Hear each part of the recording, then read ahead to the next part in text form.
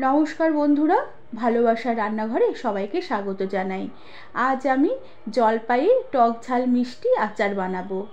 আর এই জলপাইয়ের আচার রেসিপিটি তোমাদের ভালো লাগলে একটি লাইক শেয়ার আর সাবস্ক্রাইব করে আমার চ্যানেলটির পাশে থাকার অনুরোধ রইল। প্রথমে আমি কড়াতে সামান্য পরিমাণে একটু গরম জল বসিয়ে দিলাম। এবার কাঁচা জলপাইগুলোকে আমি এই গরম জলে সামান্য একটু ভাপিয়ে নেব। এর জন্য জলপাইগুলোকে বেশ ভালো করে ধুয়ে গরম জলে দিয়ে দিলাম আর তাতে সামান্য পরিমাণে একটু নুন দিয়ে দিলাম। এবার ঢাকা দিয়ে রেখে জলপাইগুলোকে কিছুক্ষণের জন্য আমি সেদ্ধ হতে দিলাম। প্রায় মিনিট দুই তিনেকের মতন জলপাইগুলোকে আমি একটু সেদ্ধ করে নিয়েছি। এরপরে ঢাকনা খুলে দিলাম। জলপাইগুলো বেশ ভালোভাবে সেদ্ধ হয়ে গেছে। এবার গ্যাসের আঁচ বন্ধ করে দেব আর জল ছেঁকে জলপাইগুলোকে কড়া থেকে উঠিয়ে রেখে দেব। একটা ছান্তা দিয়ে আমি সেদ্ধ জলপাইগুলোকে জল ছেঁকে কড়া থেকে উঠিয়ে রেখে দিলাম। আর এই জলপাই সেদ্ধ জলটা আমি ফেলে দেব না, পরে আচার বানাবার সময় এই সেদ্ধ জলটাই আমি ব্যবহার করব। এবার এই জলপাইগুলোকে একটি কাঁটা চামচের সাহায্যে আমি বেশ ভালো করে ম্যাশ করে নেব। আর এভাবে জলপাই বেশ ভালো করে সেদ্ধ করে ম্যাশ করে নিয়ে চাটনি বা আচার বানালে এই জলপাইয়ের চাটনি বা আচার খেতে দুর্দান্ত লাগে। এভাবে সব জলপাইগুলোকে আমি ম্যাশ করে নিয়েছি। এবার কড়াতে আমি সামান্য পরিমাণে একটু সর্ষের তেল গরম করে নিলাম। সর্ষের তেল গরম হয়ে আসলে আমি এখানে ফোড়নের জন্য দিলাম কালো জিরে আর কালো সর্ষে। সর্ষে আর কালো জিরে বেশ ভালো করে এবার একটু নেড়ে চেড়ে নেব। সর্ষে আর কালো জিরে ফোড়ন হয়ে আসলে আমি সেদ্ধ করে রাখা জলপাইগুলোকে এবারে ফোড়নে ঢেলে দিলাম। এরপর এই জলপাইগুলোকে তেলে বেশ ভালো করে কিছুক্ষণ একটু নেড়ে চেড়ে নেব। তেলের জলপাইগুলোকে কিছুক্ষণ নেড়ে চেড়ে নেবার পরে আমি সামান্য পরিমাণে একটু নুন দিয়ে দিলাম আর সামান্য পরিমাণে একটু হলুদ গুঁড়ো দিয়ে দিলাম। এবার জলপাইয়ের মধ্যে বেশ ভালো করে নুন আর হলুদ একটু কিছুক্ষণ নেড়ে চেড়ে একটু মিশিয়ে নেব।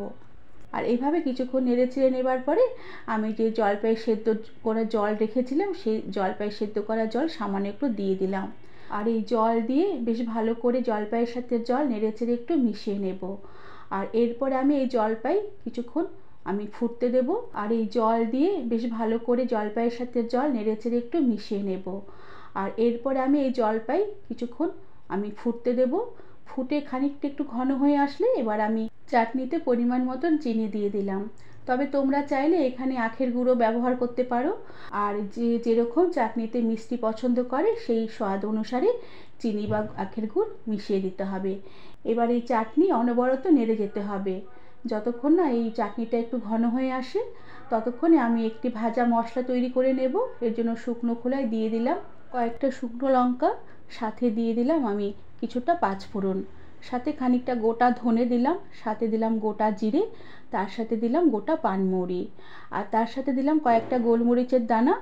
এবার এই সমস্ত মশলাগুলোকে কিছুক্ষণ নেড়ে চেড়ে হালকা করে একটু ভেজে নেব। আর ভাজা হয়ে আসলে ঠান্ডা করে নিয়ে শিলপাটায় গুঁড়ো করে নেব। আর ততক্ষণে এই চাটনিটা বেশ অনেকটাই ঘন হয়ে এসেছে। এবারে আমি এই ভাজা মশলার গুঁড়ো বেশ অনেকটাই চাটনিতে উপর থেকে ছড়িয়ে দিলাম। আর এই ভাজা মশলা গুঁড়ো দিয়ে চাটনির সাথে বেশ ভালো করে নেড়ে চেড়ে মিশিয়ে নেব।